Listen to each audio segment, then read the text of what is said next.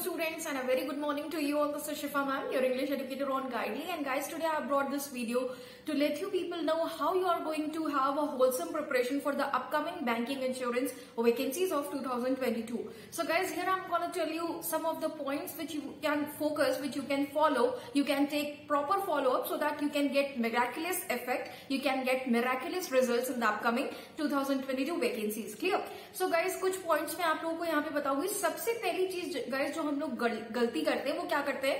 सबसे पहली जो आपकी फेलियर की जो सबसे बड़ी गलती है, वो आप लोग क्या करते हो? कि गाइस आप लोग सबसे ज़्यादा ध्यान ध्यान मैथ्स और रीजनिंग सब्जेक्ट पे ही देते हो राइट तो गाइस आई वुड से कि देखो, सारे सब्जेक्ट्स की अपनी एक इक्वल इंपॉर्टेंस है, लेकिन गाइस आज के टाइम में जो आपके दो सबसे बड़े गेम चेंजर देखे गए हैं that is English and general awareness right जो बच्चा इंग्लिश और जनरल अवेयरनेस में अच्छा परफॉर्म करता है गाइज़ वो ही बच्चा सिलेक्शन ले रहा है आज के टाइम में राइट तो मैं आप लोगों को यही सजेस्ट करूँगी। देखो मैथ्स और रीजनिंग में लगभग ऑल राउंड अगर मैं बात करूँ तो 99.9 परसेंट बच्चों के मार्क्स जो होते हैं, वो एक जैसे होते हैं। लेकिन the subject which creates a difference in the performance of the students which decide whether you are getting in और you are getting out of the banking sector is that वो आपका सब्जेक्ट जो होता है that is English and general awareness clear तो guys मैं आप लोगों को यही सजेस्ट करूँगी कि सबसे ज़्यादा ध्यान दें आप अपने इंग्लिश और जनरल अवेयरनेस पे, क्योंकि मैं जानती हूँ रीजनिंग और मैथ्स सब हर बच्चे का अच्छा होता है राइट और हर बच्चे के मार्क्स भी लगभग एक जैसे होते हैं।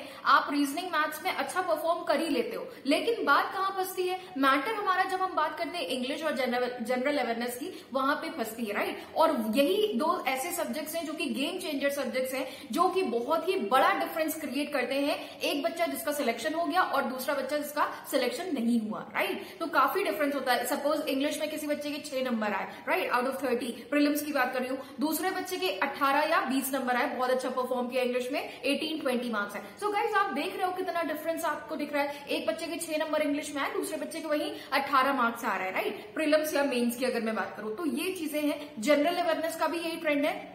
तो गाइज़ और आप लोगों को दूसरी पहली बात तो ये हो गई कि इंग्लिश और जनरल अवेयरनेस पे ज़्यादा ध्यान दें as compared to maths and reasoning अपना अप्रोच ये बनाइए कि मैथ्स रीजनिंग को भी हम लेकर चलेंगे, लेकिन ध्यान ज़्यादा किस पे देंगे? इंग्लिश और जनरल अवेयरनेस पे, जो कि मेरा वीक एरिया है राइट ये दो गाइज़ ऐसे सब्जेक्ट हैं जो कि गेम चेंजर सब्जेक्ट है। ये डिसाइड करते हैं कि आप सिलेक्ट होगे या फिर आप आउट होगे राइट ये है। तो this is number one point number two point जो मैं बताना चाहूँगी गाइज़ आप लोगों को, एक बड़ी आप लोग, सबसे सबसे बड़ा ब्लंडर आप लोग ये करते हो कि मैम प्रिलिम्स के लिए सेशन स्टार्ट करिए। मेरे पास भी आप लोगों ने बहुत सारी रिक्वेस्ट भेजी कि मैम प्रिलिम्स के लिए कोई बैच स्टार्ट करिए, कोई बैच अपना लॉन्च करिए। तो देखो गाइस प्रिलिम्स के लिए अगर आप प्रैक्टिस करोगे ना तो मेरी बात आपको शायद थोड़ी सी कड़वी लग सकती है but that is the hard and fact truth लेकिन ये सच है, अगर आप प्रिलिम्स के लिए सिर्फ़ प्रिपेयर कर रहे हो तो आपका सिलेक्शन नहीं होना है बच्चों, ठीक है? इसलिए डे वन से आप लोग किसके लिए प्रिपेयर करोगे? डे वन से आप लोग अच्छे लेवल के लिए प्रिपेयर करोगे। अगर आप अभी से, अभी आपके पास फोर फाइव मंथ्स का टाइम है।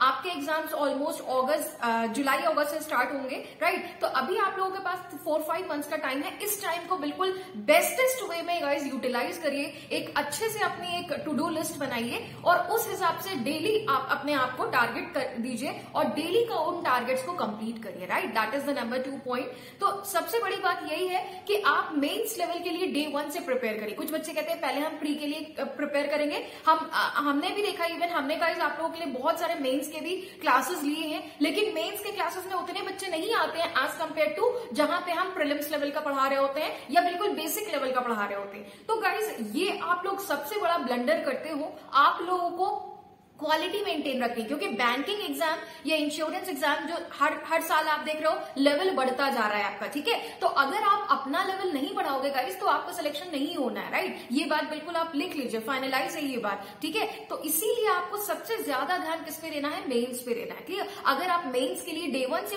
स्टार्ट करोगे प्रिपरेशन तो बिल्कुल आपका प्रिलिम्स तो क्लियर होगा ही होगा मेन्स मेन्स तो क्लियर होगा ही होगा प्रिलिम्स भी बहुत अच्छे नंबर से निकलेगा। लेकिन अगर आप सिर्फ़ और सिर्फ़ प्रिलिम्स को अभी टारगेट करोगे कि अभी ठीक है अभी हमारा जु, जुलाई अगस्त में प्रिलिम्स एग्ज़ाम स्टार्ट होगा तो हम पहले प्रिलिम्स के लिए पढ़ेंगे। तो ये बिल्कुल गलत स्ट्रैटेजी है गाइस अगर आप इसको ऑप्ट कर रहे हो तो बिल्कुल आपको तीन से चार साल आराम से लगेंगे सिलेक्ट होने में। तीन चार साल आप टाइम लोगे। लेकिन अगर आप चाहते हो कि मेरा एक साल के अंदर सिलेक्शन हो तो गाइस बिल्कुल टॉप लेवल की प्रैक्टिस करिए बिल्कुल टॉप लेवल से स्टार्ट करिए। डे वन से बिल्कुल टॉप लेवल से अच्छे लेवल से स्टार्ट करिए। प्रिपरेशन क्लियर ये नंबर टू पॉइंट था मेरा। इसके बाद हाँ इसमें एक चीज़ मैं गाइस और ऐड एड ऑन करना चाहूँगी। अब जैसे मैंने पैरा जम्बल्स की सपोज़ क्लास ली थी, ठीक है डे बिफोर येस्टरडे मैंने कुछ अच्छे लेवल के क्वेश्चंस कराए थे। तो उसमें एक एट सेंटेंसेस का भी पैराग्राफ मैंने कराया था तो कुछ बच्चों ने पूछा मैम ये तो एग्ज़ाम में आता नहीं है। आप लोग का आर्ग्यूमेंट था कि मैम एग्ज़ाम में इस तरह के एट सेंटेंस वाला तो आता नहीं है पीओ मेन्स में भी नहीं आता है। लेकिन देखो, अगर इस बार आ गया तो क्या करोगे? ये चीज़ें राइट तो आप तो सीधा यही बोलोगे कि मैम आपने तो कराया नहीं था। इस बार बहुत टफ पेपर आया था इंग्लिश में, आठ सेंटेंसेस का पैरा पैराजम्बल्स पूछा था। तो गाइज़ बेटर है कि हम उस स्ट्रैटेजी को भी लेकर चले, उन चीज़ों को भी लेकर चले जो अभी तक नहीं आया, अपना अप्रोच एक अच्छे लेवल का रखो टॉप लेवल का रखो, कि इनकेस अगर एग्ज़ाम में वो आता है तो हम कर पाए। और अगर उसके लोअर लेवल का आएगा तो वो तो हम कर ही पाएँगे ना, क्योंकि हम एक अच्छे लेवल की प्रैक्टिस कर रहे हैं, ठीक है? तो क्वालिटी को मेंटेन करो। अगर सिर्फ़ और सिर्फ़ प्रिलिम्स के लिए प्रिपेयर करोगे गाइस तो मैं बहुत मैं बिल्कुल आपको हंड्रेड परसेंट श्योरिटी दे रही हूँ कि आपका सिलेक्शन नहीं होना है, ठीक है? और आपको आराम से दो चार साल का टाइम लगेगा सिलेक्शन लेने में, ठीक है? आप पूछ सकते हो उन बच्चों से जो दो साल, तीन साल से प्रिपेयर कर रहे हैं, लेकिन आज भी उनका सिलेक्शन नहीं हुआ है। क्यों नहीं हुआ है? बिकॉज़ ऑफ़ दिस फेलियर मैंने मैं नहीं कह रही हूँ कि वो मेहनत नहीं किया उन्होंने। नहीं, मेहनत किया है, लेकिन एक प्लान और एक सिस्टमैटिक वे में उन्होंने अच्छे से अप्रोच बनाकर उन्होंने परफॉर्म नहीं किया एग्जीक्यूट नहीं किया। उन्होंने सिर्फ़ प्रिलिम्स लेवल के लिए प्रिपेयर करते रहे और ये आज नतीजा निकला कि वो प्रिलिम्स भी क्वालिफाई नहीं कर पा रहे। ये नतीजा निकल कर आ रहा है। तो इसलिए गाइस मेरी आप लोगों से बिल्कुल रिक्वेस्ट है कि आप लोग अच्छे लेवल पे प्रैक्टिस करिए। जो भी मेन्स लेवल के मैं क्लासेस करवाती हूँ या जो भी मेन्स लेवल ये वो सिर्फ़ कन्फाइंड नहीं है मेन्स के बच्चों तक। उसमें प्रिलिम्स वाले बच्चे भी मोस्ट वेलकम है, ठीक है? सारे बच्चे उन सेशंस में जुड़िए, जो मैं मेन्स लेवल का कराती हूँ या अच्छे लेवल का भी कराती हूँ। सीधा से आप लोगों का होता है, मैम, पहले प्रिलिम्स का करवाइए। नहीं। मेंस का करवा रही हूँ। मेंस का करोगे तो प्रिलिम्स अपने आप अच्छे से निकलेगा। लेकिन मेंस तो क्वालिफाई होगा ही होगा प्रिलिम्स भी अच्छे मार्क्स से निकल जाएगा, ठीक है? तो ये था मेरा नंबर टू पॉइंट इसके बाद नेक्स्ट पॉइंट गाइस जो मैं आप लोगों को बताऊँगी, एक अपनी टू डू लिस्ट बनाइए डेली की, ठीक है? मॉर्निंग से through the end of the day आप पूरी एक अपनी टू डू लिस्ट बनाइए डेली की और उसको आप अपडेट करिए, ठीक है? अब जैसे मैं इंडिविजुअल सब्जेक्ट्स की बात करूँ, जैसे अगर मैं बात करूँ इंडिविजुअल सब्जेक्ट्स की तो हम सबसे पहले जैसे मैथ्स की बात करते हैं। तो मैथ्स में गाइज़ आपका जो मेन्स में सबसे ज़्यादा पोर्शन वेटेज होता है, वो डीआई ही आता है राइट अब टेबुलर डीआई हो गया आपका बार बार ग्राफ हो गया, ठीक है? तो ये सारी चीज़ें आपकी मैथ्स में आती है। तो गाइज़ डेली का टारगेट बनाइए कि हमें दो क्वेश्चन तो प्रैक्टिस करने ही करने ठीक है? एक घंटे का टाइम निकाल के हमने दो दो क्वेश्चन प्रैक्टिस कर लिए डीआई के।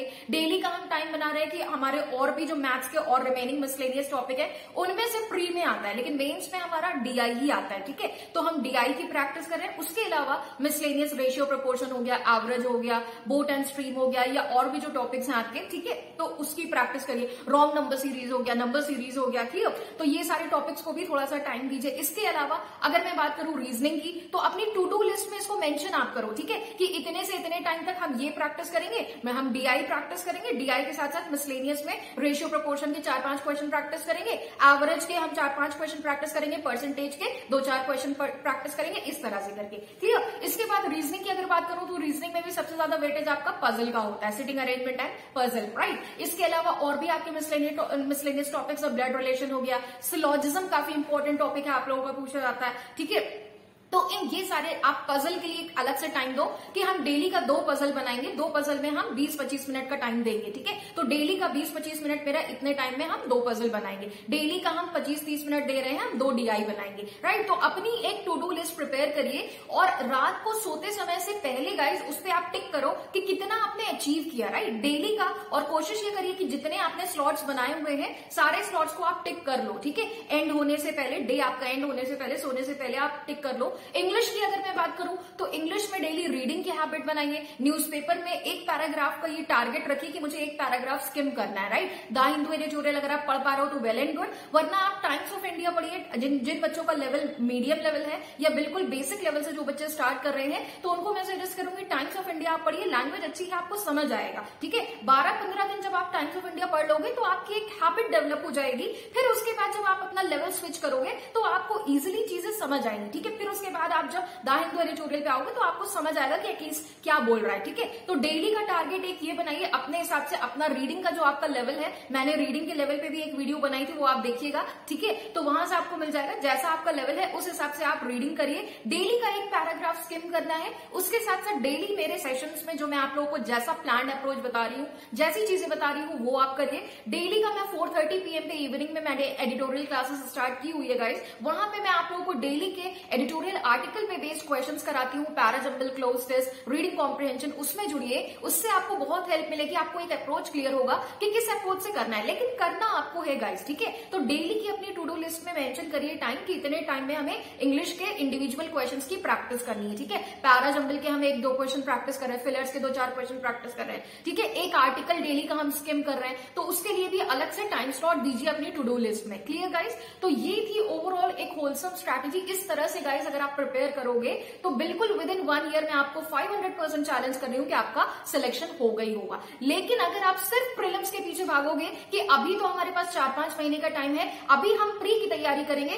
फिर जब हमारा प्री क्लियर होगा फिर हम मेन्स की तैयारी करेंगे तो ये बहुत ही गलत अप्रोच है गाइस क्लियर और एक बात मैं और कहना चाहूँगी जनरल अवेयरनेस भी आजकल आप देख रहे हो कितने अच्छे लेवल का एग्ज़ाम में पूछा जा रहा है तो इसके लिए भी गाइस डे वन से प्रैक्टिस करिए, ठीक है? मैं नहीं कहती हूँ पूरा दिन पढ़ो थोड़ा सा ट्वेंटी ट्वेंटी फाइव मिनट्स का टाइम डेली का निकालिए जनरल अवेयरनेस को भी पढ़ने के लिए। करंट अफेयर्स डेली का करते रहिए, क्योंकि जब मेन्स का टाइम आएगा तब आप पढ़ोगे तो कवर नहीं कर पाओगे, ठीक है? इसीलिए डे वन से स्टार्ट करिए, बिल्कुल मेन्स लेवल के लिए प्रिपेयर करना तो आप प्री तो बहुत अच्छे नंबर से निकलेगा ही निकलेगा, उसके साथ मेन्स भी निकल जाएगा आपका। क्लियर गाइज़ तो अगर वीडियो पसंद आई तो लाइक एंड शेयर करिए गाइज़ ज़्यादा से ज़्यादा अपने फ्रेंड्स में शेयर करिए and guys stay connected with me on my Telegram channel that is at the rate English Shifa ma'am and daily मेरे सेशन में जुड़िए ट्वेल्व थर्टी पीएम सेशन में, जहाँ पे मैं आप लोगों को दो दिन ग्रामर और दो दिन मिसलेनियस टॉपिक करा रही हूँ, सब कुछ कवर हो रहा है। बेसिक टू हाई लेवल चल रहा है। And evening four thirty PM में जहाँ मैं, मैं आप लोगों को द एडिटोरियल के आर्टिकल्स पे बेस्ड क्वेश्चंस करा रही हूँ reading comprehension cloze test word swapping ये सारी चीज़ें हैं। तो गाइस बिल्कुल होलसम लेवल में मैं इंग्लिश की प्रिपरेशन आप लोगों को करा रही हूँ ठीक है? तो दोनों सेशंस में सभी लोग जुड़िए। इसके साथ साथ टू डू लिस्ट में अपनी प्रैक्टिस के लिए भी सेल्फ प्रैक्टिस के लिए भी टाइम निकालिए ठीक है? So thank you everyone